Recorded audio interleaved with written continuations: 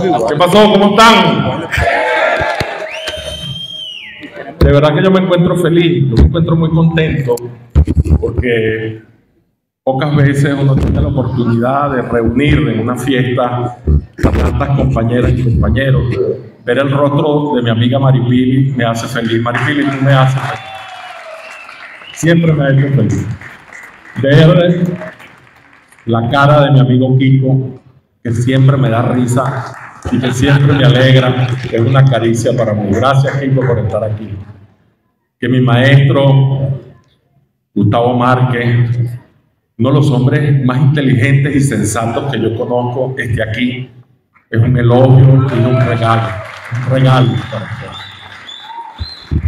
Que mi amigo y compadre de aventuras intelectuales, Javier Dierdó, con el que he escrito varios libros, se encuentre aquí. Para mí también es motivo de alegría.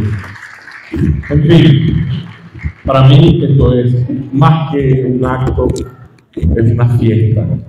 Una fiesta de la alegría, del reencuentro, una fiesta del compromiso. Porque los que estamos aquí, compañeras y compañeras, compañeras y compañeros, de algún modo somos parte de la reserva moral de este pueblo. Somos parte de la reserva moral e intelectual de este país.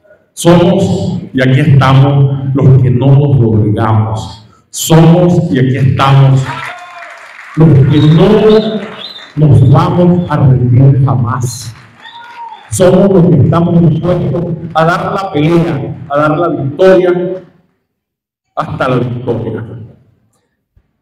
Yo le decía a mi buen amigo Enrique Márquez, a quien por cierto conozco hace muchos años, Enrique y yo nos conocemos de que éramos peladitos, chamos.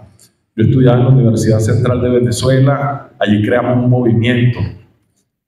De esto de crear movimiento estamos hechos y tenemos mucha experiencia. Hemos creado movimientos y más movimientos con Figuera.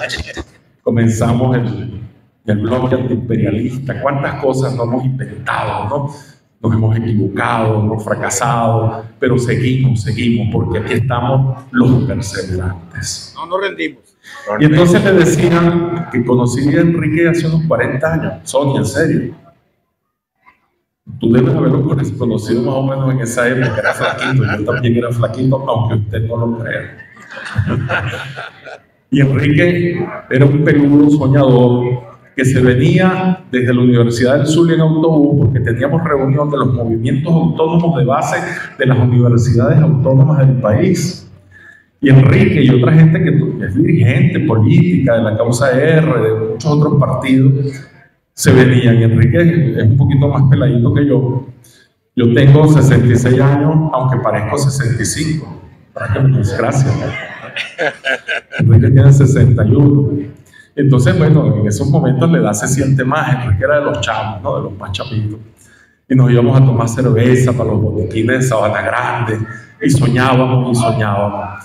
Entonces, reencontrarme con Enrique es reencontrarme con ese joven soñador que sigo siendo y que llevo por dentro. Y es encontrarme con el recuerdo, con la amistad, con la constancia, con la perseverancia de un hombre que tampoco se ha rendido y que está aquí.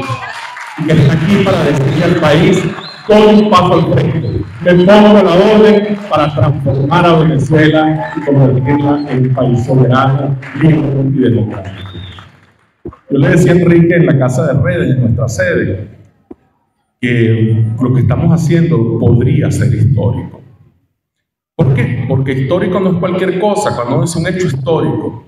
El 5 de julio es histórico. ¿Por qué el 5 de julio es histórico? Porque fue un día que trascendió su propio tiempo y se proyecta hasta los tiempos actuales. Somos independientes por aquel 5 de julio de 1811. Si ese día no ocurre, bueno, tal vez ocurre más tarde, después, pero ocurrió ese día. Yo creo que este día de hoy, si nosotros queremos si nos lo proponemos firmemente, puede ser un día histórico. Hoy están haciendo una alianza social, están haciendo como las élites de la burguesía se pusieron de acuerdo en Nueva York y después se fueron para la casa de Caldera y crearon, firmaron un pacto el pacto de punto fijo. Hoy nosotros sí estamos firmando un pacto que los historiadores llamarán en el futuro el pacto histórico de Cantaclán. Así se va a llamar lo que están haciendo hoy.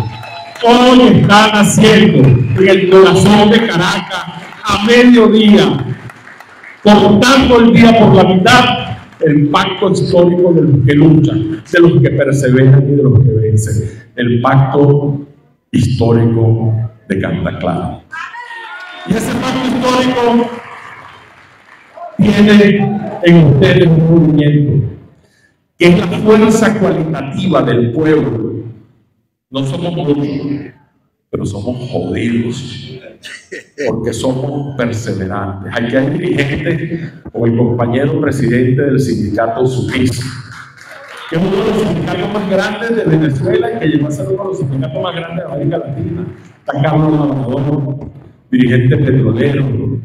Está Luis Hernández, dirigente petrolero está Kelly Orcial, dirigente de los jubilados mencionados de PDVSA. Por ahí vi a Julio Bolívar, secretario general del Sindicato de la Construcción del Estado Guárico, a Julio Terán, secretario general del Sindicato de la Construcción del Estado Miranda. Y así yo podría irlos nombrando y me perdonen lo que pasé por alto, pero no es porque no lo quiero, sino que lo guardé para el acto que viene.